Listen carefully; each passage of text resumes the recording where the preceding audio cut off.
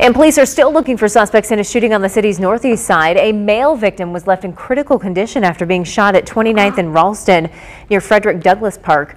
A police report says that he was shot multiple times. Video from the scene shows police collecting evidence and what appears to be a bicycle on the ground.